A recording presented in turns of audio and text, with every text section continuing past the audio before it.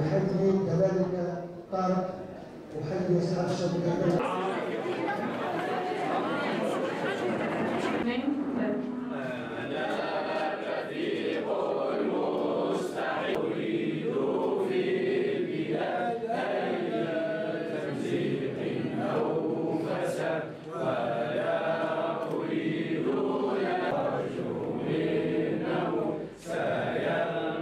الشركة والإرهاب والجريمة حقوق الإنسان في هذه النبيلة لأن الصحفي نبيل الصحفي له آه، قيم له مثل له أخلاقيات.